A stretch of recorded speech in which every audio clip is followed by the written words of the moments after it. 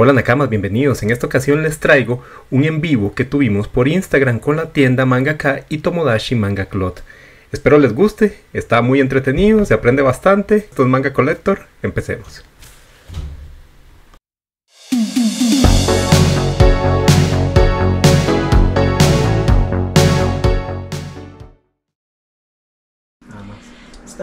Bueno, estamos aquí ya en vivo desde las bodegas de Mangaka. Eh, tenemos dos invitados en esta oportunidad que tuvimos como un año tratando ahí de, de, podernos reunir y, y, compartir con ustedes un poco ahí sobre, sobre la fiebre que tenemos sobre los mangas y, y el anime en general.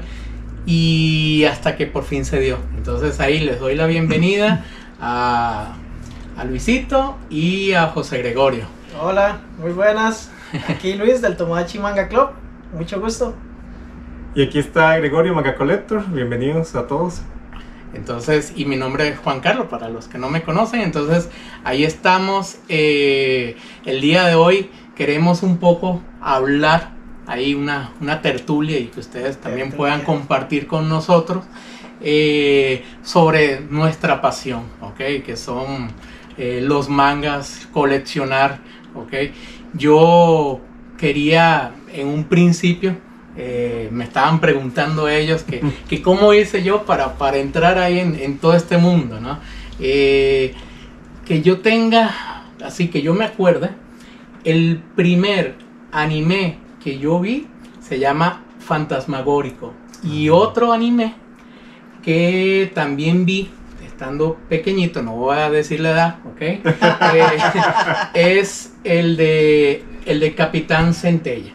Fantasmagórico, después ahí investigando y todo eso, me di cuenta que eh, es el primer superhéroe que sacaron animado, inclusive antes de, de los, de, de, los cómics, ¿ok? Entonces, eso es un dato bien interesante. Mm, y ahí va revelando un poco ahí la edad, ¿no? Sí. Pero... De, de, de, hecho, me llama, ahí me llama la atención, Juanca, porque, digamos, yo, chiquillo, sí, después me di cuenta de Fantasmagoria, digamos. Uh -huh. y, y, Capitán Centella. Uh -huh. Recuerdo otra que daban que era Judo Boy. Ajá. Pero ya, digamos, yo chiquillo, lo que recuerdo y que ya uno empieza a decir, esto no es el cartoon de Disney, ¿verdad? Ajá. Era el tema como Cap Capitán Harlow. Ajá. Este, la misma Candy, Uh -huh. que era lo que veíamos.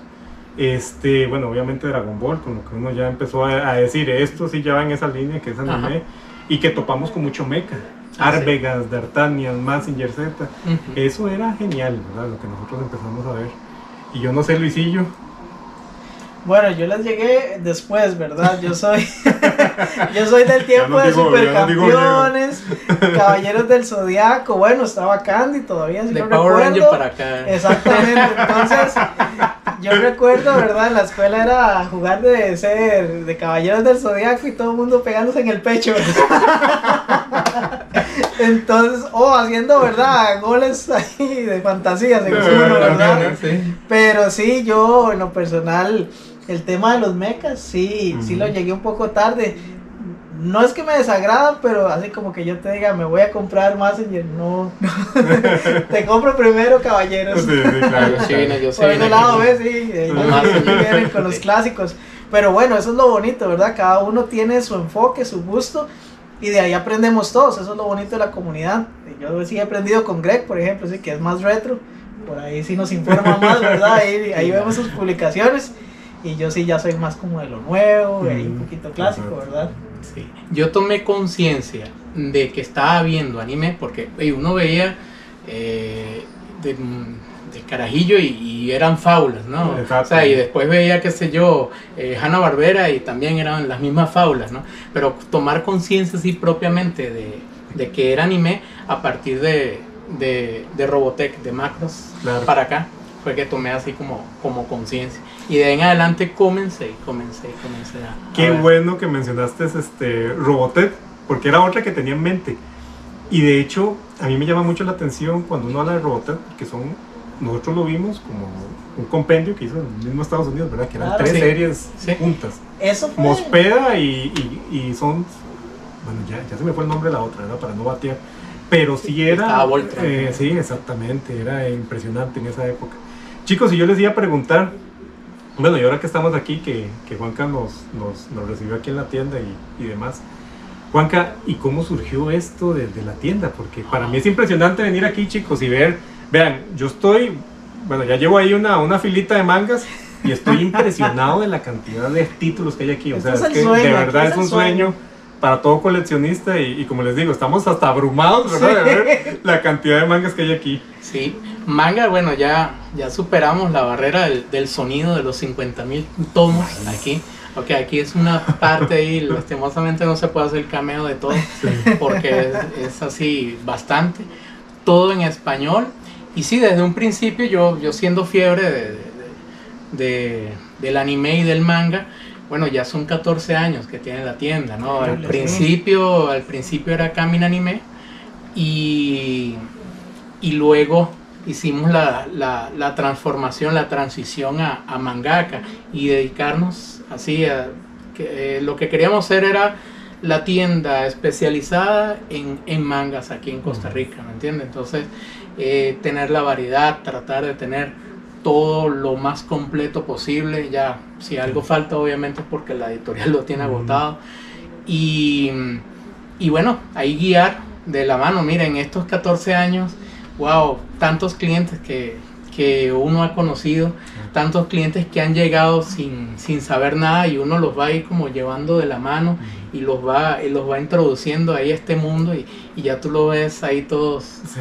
todos fiebres, entonces eh, ha sido una, una experiencia bonita durante todo este tiempo, ha sido, ha sido muy, muy interesante. Claro, bueno, y, y, y buen, buen detalle, ahora que lo menciona. Greg, ¿cómo conoció usted la tienda? Ah, eso sí es muy interesante. De hecho, yo la primera vez que oí de Camina Anime, de hecho, era buscando manga. Porque como yo solo compraba manga en, en japonés, entonces era muy difícil encontrar manga en español. De hecho, cuando yo compré mi primer manga en español, fue cuando Lemon y Universal empezaron a traer de Glenat. La Ujú. Glenat, bueno, ya todo el mundo sabe que si acaso solo Francia tiene la- editorial. Y esos mangas eran, vean, yo los abría y todavía ahí tenemos algunos este, en la colección y yo los abro y eran mangas durísimos, o sea, no Sí. tenían la misma calidad. Entonces yo seguí con los mangas en japonés. Y cuando ustedes tenían el inicio de la, de la tienda de manga acá, yo hice un pedido, creo que había pedido como tres mangas como para probar. Para probar. es- Oigan, y eso fue el de los, no le voy a decir error ni nada, pero me puso una fiebre. Y, y chicos, vean, hablando también con, con, con mi novia, que es la que colecciona conmigo, contamos 1400 mangas el, el fin de pasa, el fin de semana pasado. Y yo estoy feliz, a mí me encanta ver esos 1400 mangas, claro, vieron lo que es acomodar esos 1400 mangas, ¿verdad? Y darles el cuidado correcto también que hemos conversado. Pero vean, es algo impresionante. Igual Luisillo, también esa es una pregunta Sí, eh, digamos, bueno, como hablábamos, anime de toda la vida, ¿verdad? Lo conocemos, inclusive como Juanca mencionaba, uno pensaba todo que era faulas, hasta que ya uno aprendió como, ah, no, viene de Japón y todo el asunto. Ya el tema de manga, yo me interesé, justamente me estaba tatuando aquí, Perfect Blue, a Mima, en la pierna, y eh, en la sala ahí del estudio, pues tenían un- unos mangas para ver, ¿verdad? Y claro, yo me quedé así como, ¡ay, qué es esto! Y ya le pregunté al muchacho y todo, y me, y me recomendó la tienda. Y curiosamente, bueno, yo soy de Ciudad Colón y cuando veo el perfil dice que la tienda está en Ciudad Colón, entonces eso fue como, me explotó la cabeza, digo, yo estaba aquí nomás en el barrio. Entonces, de ahí, bueno, ya Juan sabe una vez, por la primera vez que le escribí, ya, ya, bueno, ya ahora hasta cajas me llevo de aquí, ¿verdad? Exacto. Que bueno, para mí la verdad que colecciono y, y, y todo es porque yo veo y veo las obras, veo de qué tratan y me enamora. La verdad es que yo digo, wow, quiero leer esta historia y pues se convierte en una pasión, ¿verdad? Más Sí. allá de que de hobby todo es una pasión de ver, de ver y aprender, ¿verdad? Que trae la, la historia, porque más allá de, de la trama es entender quién nos está transmitiendo el mangaka. ¿verdad? Especialmente Sí. los japoneses son muchas eh, lecciones de vida, Mm. eh, consejos, cosas, ¿verdad? Entonces también, como dicen, uno echa para el saco, ¿verdad? Exactamente. Otra cosa que les quería, o sea, a mí siempre una de las preguntas recurrentes que me hacen es la siguiente. ¿Cuál sería tu top 10 de mangas? Mm. ¿O cuál es tu top 5 de mangas? Y cada vez que me hacen eso, bueno, ahí hay unos mangas que, que siguen en ese, en ese ranking. Hay otros que se desplazan porque viene otro Claro, mejor. sí, claro. Y, y, supo- y, y- y normalmente está así, ¿no? Entonces, eh, a mí me gustaría saber, primero ustedes, antes de, de revelar yo mi, mi top Ok, 10, ¿no? ok. o, o, o hagámoslo no un top 10, sino un top 5. Un Un 5. top five, Ajá. top five. Los cinco mejores mangas que, que, que te han pasado por las manos. Entonces, ahí Luis, coméntame un poco sobre esos cinco mangas que, que sí te tocaron el corazón. Justamente eso le iba a decir, más allá de puntajes o cuál vende más o aquí o allá, yo sí me guío eh, por eso, el impacto que me hace. Claro. Yo, por ejemplo, puedo decir Helsing es uno que, wow, desde que supe que existía me volvió loco, la, la- increíble, es, es- Alucard es una cosa increíble. Podría decir Helsing, eh, Kimetsu no Yaiba, más que todo también porque yo los comparto con mi sobrina, entonces es la experiencia de verdad de vivirlo con ella, ya creo que ya muchos han visto la, la película y el tomo 8, qué pasa con nuestro querido Rengoku, ¿verdad? Entonces esas son experiencias que se quedan. Entonces te puedo decir Helsing, Kimetsu no Yaiba, eh, ¿qué más? Este, Sakura, que justamente tengo que terminarlo de coleccionar. Sakura Card Captor, que lo recuerdo, yo lo veía en Cartoon Network. Ah, Entonces ya ahí estoy con el manga, también increíble. Eh, pues Berserk, Berserk yo creo que tiene que estar en ese top, es una historia que, ay Dios, es, es, es un aprendizaje, ¿verdad? Y estar ahí sufriendo con Guts, Eternamente. increíble. Otra que la tengo eh, siempre en el corazón, porque justamente fue el primer manga que le compré a, a, a Juanca, que es Dusk Maiden of Amnesia. Muy hermoso, la verdad. de- y- De Tazogar Otome. Sí, increíble, ¿verdad? Y, y que yo creo que ya cuesta, ¿verdad? Encontrarlo. Sí, yo en su sí. momento lo Ahorita sí. compré los 10 tomos y de suerte, Ah, ¿verdad? que ese es el. Claro. Esa es, hay veces el corre, corre aquí, ¿verdad? Que Ah, se sí. le va a uno los tomos. Después hablaremos de eso. Mm. Y bueno, ¿cuántos llevo ya? ¿Cuatro? Seis, no me. Ya, Ya. ya, ya, ya me pasaste. Bueno, Eh, voy a, voy a cerrar con Mashley porque la verdad me, me, bueno. me encantó Mashley. Yo no, yo no había. Hay cosas, ¿verdad?, que hacen tan naturales que yo no había caído en el 5 que, que Mash este, tiene como un autismo, ¿verdad? Algo así. Entonces, eh, uno no cae en cuenta, pero bueno, la verdad es que se integra de una forma muy natural a la historia y cómo gira en torno a eso. Entonces, Ujú. también para mí es un protagonista increíble, ¿verdad? Sí. Pues bueno, esa, esa pregunta es difícil, pero yo sí diría que mi top 5 es un poquito igual, ya ustedes saben, ¿verdad? Retroman, ¿verdad? En ese sentido. Pero sí es eh, Saint Seiya. Ujú. Claro, se enseña. Tiene que estar Dragon Ball. Ujú. Eso es, es fijo. Monster de Naoki Urasawa. Creo que es una obra maestra. Death Note a mí me gusta bastante. Obviamente hasta cierta parte sé que es una obra maestra en ese Hermoso. sentido. Ya después baja un poquito, pero sigue siendo una gran obra. Claro. Em, ya aquí empieza lo difícil porque podría decir Slandon, Yu Yu Hakusho, eh, Hokuto no Ken, el mismo Jojo que ahora es tan popular. Jojo yo lo conocí cuando estaba iniciando, veíamos Ujú. el anime re- retro de los noventas. Ujú. Y, y ahora que está con tanto poder, yo dije, mira, el anime retro es que no le habían dado la oportunidad de hacer el anime, ¿verdad? Y vean cómo levantó de, de Sí. impresionante esa serie, ¿verdad? Sí, sí, sí, sí. Yo tengo aquí. Ah, bueno, sí, Juan Carlos, que Ya tiene. estamos con micrófono. Mi top 5. Wow. Vamos a ver. Mm, voy a ir por orden. Eh, Hokuto no Ken. Ya, Ok. Gangsta. Que de Gangsta. Gangsta yo tengo hasta las figuras, las tengo ahí, está el ya manga. las vimos. Vi, vi todo, o sea, soy súper fan de, de Gangsta. Eh, Tengen Topa Gurren Lagann, Ah. obviamente. Ya. Tan así que el nombre de la tienda, Kamen Anime y todo viene de, de- de la serie. Eh, luego eh, está eh, eh, Psychopass. Ajá. Psycho muy, muy Pass, buena. claro. Psychopass porque me gusta todo ese mundo eh, so- social y, y- y filosófico, el trasfondo filosófico, al menos la lectura que yo le di, es que eh, el autor se basa en Platón. Entonces Mm. es algo bastante interesante.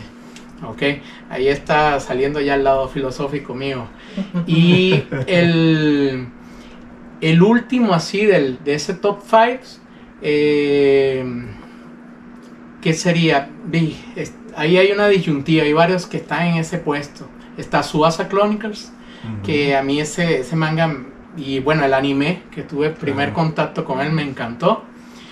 Y, y pondría algo nuevo que sería Kaiju número 8. Porque Kaiju, o sea, Kaiju desplazó a otro manga que, que estaba ahí, pero lo de, sí lo, lo desplazó. Porque ahí eh, tenía también Magical Girl Holy Shit, pero ahí yo creo que. Kaiju ahorita sí, sí lo desplazó un poquito. Entonces, eh, está así, está así peleado ese, ese top 5. Está bastante es duro, es reñido. Sí, reñido. es duro. sí. Sí, porque hay inclusive varios que mencionó yo, sí, cierto.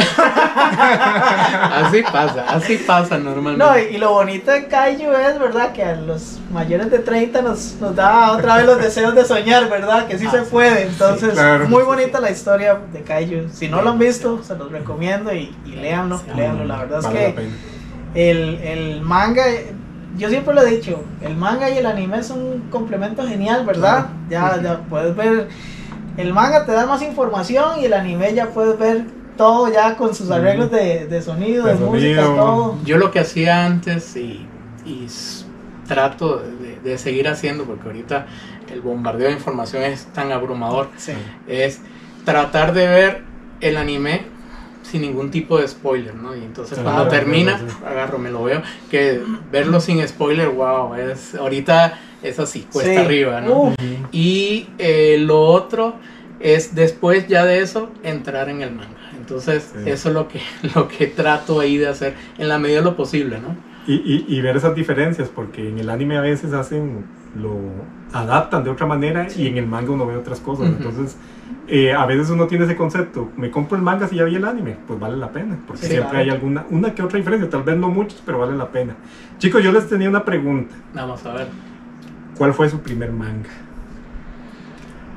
Y me imagino, en el caso tuyo, Juanca, bueno, no, no, no sé si también, bueno, obviamente, yo siempre veo esto como parte de tu colección gigante Sí, que hay aquí, ahorita ¿verdad? sí. Pero me imagino que fue un manga el que vos te tuviste de, de niño o algo así. Ok, manga leído no de niño, pues de niño era casi que imposible acceder Claro. a, a- a- un manga, pero sí, el primer manga que leí completo fue Death Note, ok, Ujú. que, Oh. que, que fue como de los primeros mangas en, en llegar aquí a Costa Rica Ujú. y, y entonces y era, era accesible. También estaba su líder, eh, está en ese, en ese momento, venían de, de editoriales españolas.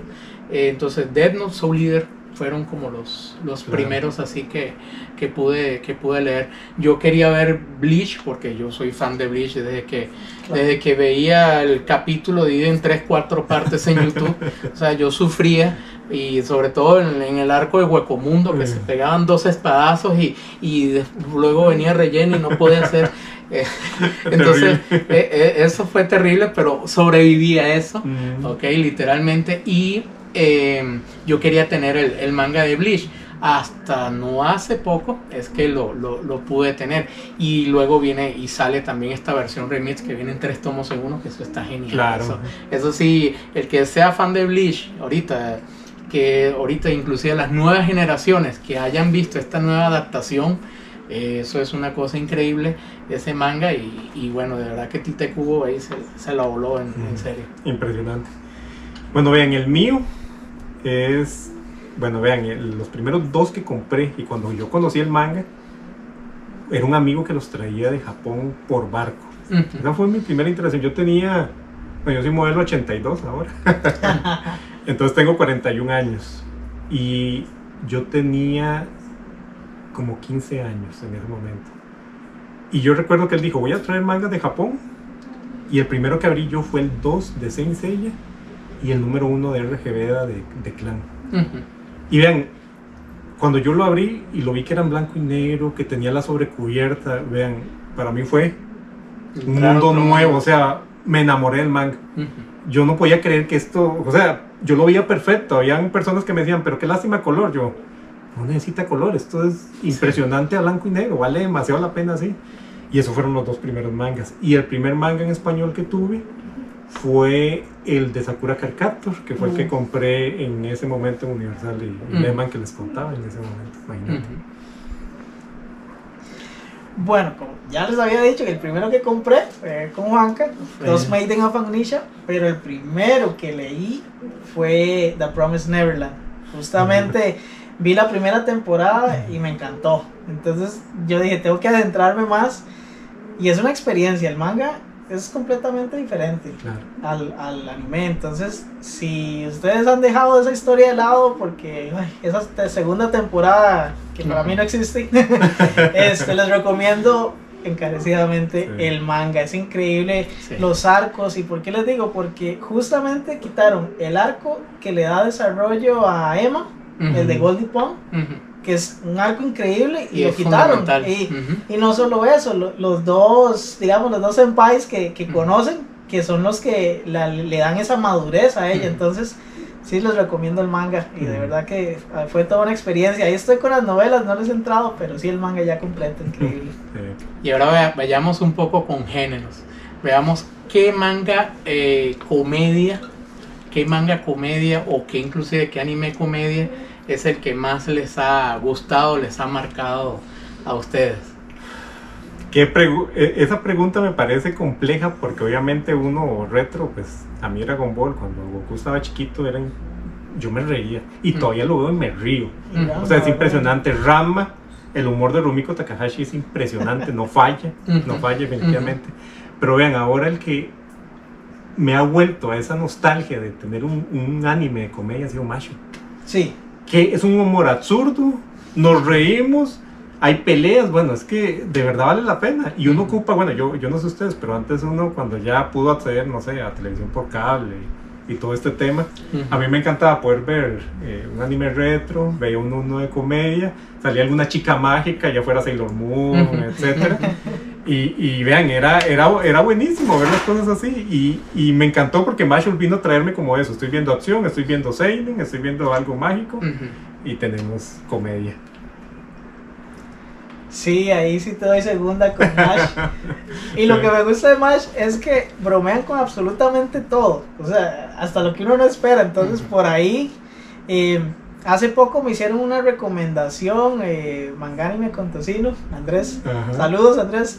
Este, de Romantic Killer, que está ahí en Netflix. Increíble también. Este, es una chica que está tan metida en su casa con sus postres, videojuegos y, y el gato, que llega un hada a decirle le voy a hacer su vida como un juego de, de citas. Qué bueno. Entonces, ay, es, es todo, es todo un chiste, cómo le pone, pues, las, le pone chicos, todos guapos, así, abre la puerta y le sale uno que de repente es el amigo de toda la vida y cosas así, entonces, ese me gusta mucho, ¿cuál otro vi? No sé, ahorita no, porque tienes razón, es una pregunta muy abierta. compleja, compleja. A mí en lo personal es que Juanca me molestaba que, que cuando yo llegué era todo oscuro. Yo, deme yunjito y deme lo que más sangre tenga. Y ya ahora aquí ya, Y ya ahora me está estaba- tierno, ya se enterneció. Sí, Ah, Ahí lleva chollo, ya, ya lleva chollo, chicos. Eso está, eso está como el meme de- del, del maje que es el militar, pero tiene un bolso de, sí. de, de Dora la exploradora, dulce pero, o sea, rudo pero tierno. Aquí ya me estaba peleando un tomo ahí que ya, ya se fue. A mí, en cambio, eh, bueno, hay dos, así, son bastante recientes. Por ejemplo, Iruma Kun me fascina. Iruma Kun me fascina. Hay uno que tengo una anécdota, eh, ahí yo estaba, estaba en un evento, estábamos armando ahí todo el stand y toda la cuestión. Y eh, ya habíamos terminado, pero no habían abierto las puertas. Entonces y yo agarro y, y agarro el celular y, me, y comienzo a verme unos capítulos. Y yo estoy muerto de risa y muerto de risa. Y llegan ahí y me preguntan, ¿y qué estás viendo? Ah, yo estoy viendo eh, Chokugeki no Soma, que a mí eso Ah, me claro, fascina. claro. Me fascina Soma. Y, y entonces también también eh, que tiene un poco de todo, ¿no? Cómo hacer un anime shonen cocinando, o sea, eso te explota la cabeza a ti, solamente los japoneses hacen eso, ¿no? Y, y en realidad Soma también me, me gustó mucho. Pero así, Iruma Kun, sí diría que así comedia, comedia, comedia, así espectacular. Para mí, Iruma es el que, el que está ahorita, que, que estoy enfiebrado con Iruma y voy al día y toda la cosa. Ese tengo que entrarle yo. Ah, Iruma es, es mortal. Yo, yo tengo una pregunta y, bueno, ya que estamos aquí los tres, este, ¿qué, le, ¿qué le recomendarían a los nuevos lectores como manga? Digamos, para que empiecen, para los que dicen, mira, es que yo no quiero empezar con tanta, como una serie muy larga, tal vez qué títulos les podemos recomendar también y que sepan que esos títulos los pueden obtener obviamente aquí en la tienda. hay, hay muchos tomos únicos. La particularidad de estos tomos únicos es que la, la gran mayoría no tienen anime. Entonces, eh, pueden adentrarse a, así como un primer, como, como una primera prueba o, o, un abreboca, como, como un plato de entrada para después llegar ahí a los platos fuertes, ¿no? Eh, pueden entrar con un tomo único que de eso ya, ya como para recomendarles ya tendría que saber qué gustos tienen, ¿no? O sea, si le gusta más un drama, si le gusta una comedia eh, romántica, o si le gusta un slice of life, o si le gusta más sangriento, o, algo más picarón. Eso ya va a depender un poco de, del gusto de cada persona, pero hay tomos únicos o mangas muy cortos de dos o tres tomos que eh, sirven muy bien para, poder meterse uno en, en ese mundo. Entonces, ahí, por ejemplo, está My Broken Marico, un buen drama, es excelente. Está Hideout, ahí para que vean algo ahí como un poco más de suspenso. Eh, tenemos eh, Shino no es capaz de, decir su nombre de, de Chusochimi, que es excelente también.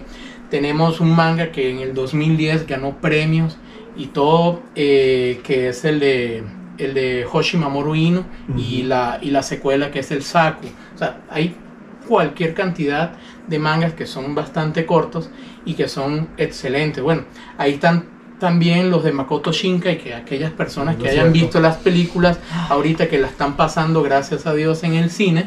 Entonces ahí tienen Journey, son tres tomos. Ahí tienen eh, el... por aquí tengo uno que es el de... El Jardín de las Palabras. El Jardín de las Palabras. Sí, ahí hay un montón. Koe no Katashi, que también es ah, otra película buenísima. Ahí mencionaste el de Hoshino, sí. Sí, ahí está Hoshi Mamono Inu, que es demasiado Si quieren sufrir, ahí está ese. Muy recomendado. Muy bueno. Y, y ahí hay otro que es de los, los dioses mienten. O sea, hay un montón de, de mangas de verdad que para todo tipo de género. Sí, ahí está Your Name, que son tres tomos. O sea, ahí eh, hay un montón de opciones que, pueden ir haciendo. También eh, no es malo ver lo clásico, o sea, eh, ¿qué fue lo que marcó un antes y un después del manga y el anime? Estamos hablando de los años 90, años 2000. Entonces, ahí es donde se concentran la mayor cantidad de mangas que marcaron un antes y un después. De, hecho, yo quiero añadir algo ahí porque, bueno, como ya lo vengo comentando desde el en vivo, a mí me encanta toda la parte retro y obviamente compro mucho el manga actual, el nuevo. Pero a mí me gusta mucho que se conozca lo retro porque fue lo que yo inicio, lo que conocemos, chicos. Y hay que darles la oportunidad, aunque sea no, no tienen que comprar todo Dragon Ball, pero qué interesante leer por qué Dragon Ball es tan importante en la cultura pop.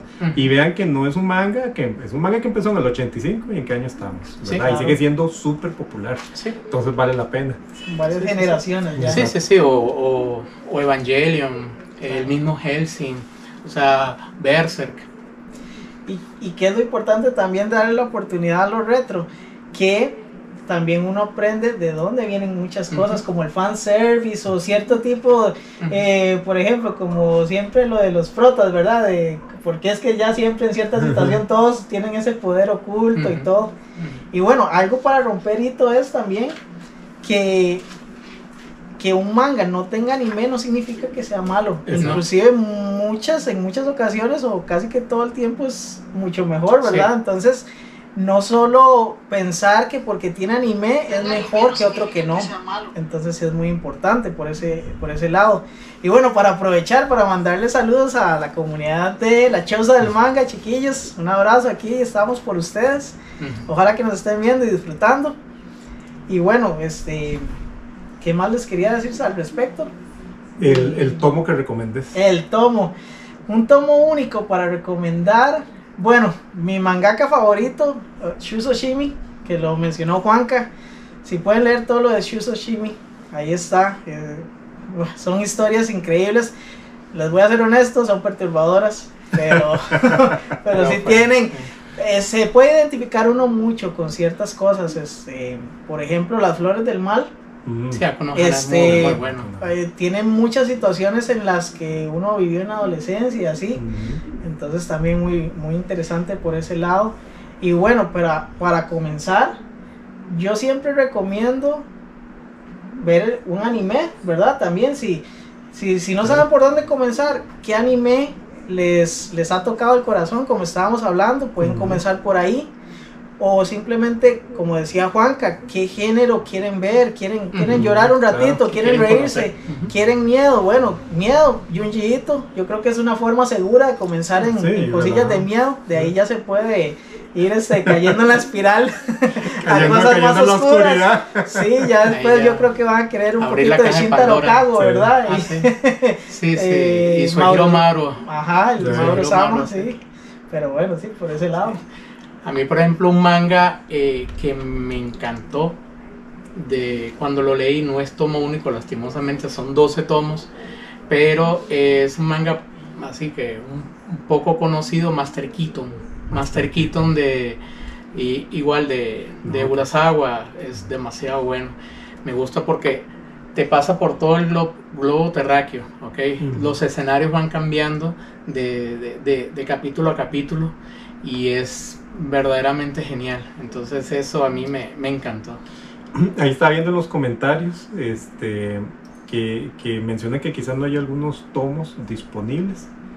Entonces también pueden dejar ahí en los comentarios cuáles son esos tomos. Y, Ujú. y- y como estábamos hablando ahora aquí con Juanca, antes de empezar el en vivo, que estábamos pues, eh, eh, decimos aquí en Costa Rica tertuleando un poco, este, que es muy interesante porque la editorial a veces que tiene un lapso para imprimir los, los, los tomos. Entonces no es que no vayan a llegar del todo, sino es que quizás van un poquito más lentos. Yo se los digo por experiencia porque también yo estoy con Ashita no Joe y, y ya sabemos que va a salir quizás un tomo por año, ¿verdad? Entonces yo ya sé que, que va por ahí o, o- o va un poquito más lento por ser una obra tal vez Sí. poco conocida. Es que un poco para coleccionar hay que como romper un cierto, un cierto mito.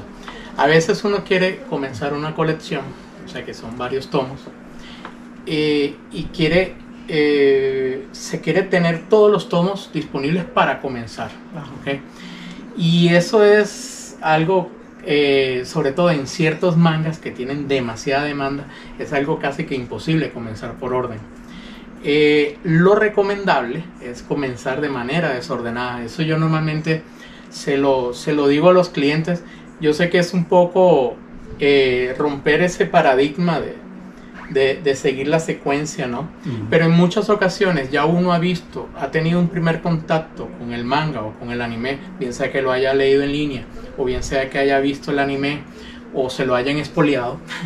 Ok, Pero eh, uno podría, si va a hacer la colección, o sea, todos va a depender si, si, tú vas a, si tú quieres completar la colección. Entonces, en ocasiones tienes que comenzar de manera aleatoria, a como esté eh, la disponibilidad. ¿Por qué? Porque la editorial no, no hace reimpresiones de manera ordenada. No es que, por ejemplo, se vota el tomo 1 y se vota el tomo 2 y el 3 y el 5 y entonces va a comenzar a hacer reimpresiones del tomo 1. A veces no, a veces tarda un poco y después hace reimpresión del tomo 5 y entonces tú te quedas esperando. Entonces, nosotros somos obviamente los primeros interesados en, en tener todo el manga, pero muchas veces desde el punto de vista logístico no es posible, no es posible tenerlos todos. Más sin embargo, yo considero que, que- que, por ejemplo, en este año, y es un logro, uno poder, ustedes que por ejemplo llegaron aquí y ven, ven todo, casi todos los mangas completos, faltará uno que otro tomo, que son mangas que han sido populares. Ahorita, por ejemplo, estamos esperando como 4 o 5 tomos del tomo 5 de Kaiju. Tenemos, tenemos tomos que estamos esperando desde hace un año, como el tomo 1 de Yasumi Pum Pum, ¿ok? Ay, sí. por parte de la editorial. Pero son cosas que, eh, más allá de eso, de esa parte de la editorial, de que se hace reimpresión o no hace reimpresión, la idea es, digamos, comenzar.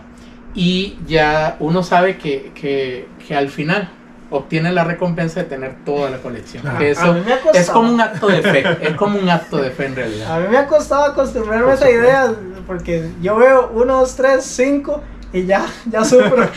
Sí.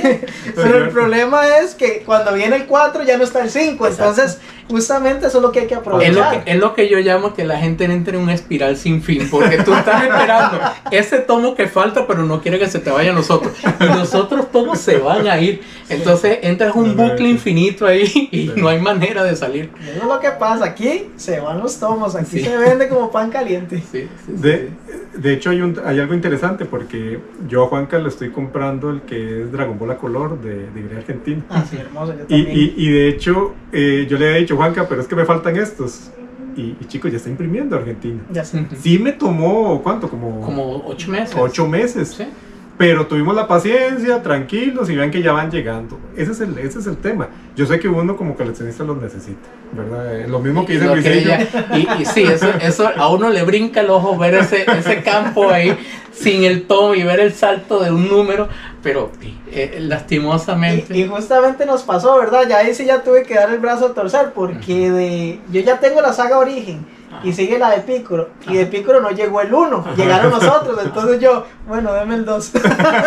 Pero por ejemplo, por ejemplo, tú recientemente hiciste Yu Yu Hakusho. Ajá. Eh, eh, Yu-Gi-Oh, perdón, Yu Yu Y ahora sí, eso, eso sí vale la pena también, la de Yugi es hermosa. Sí.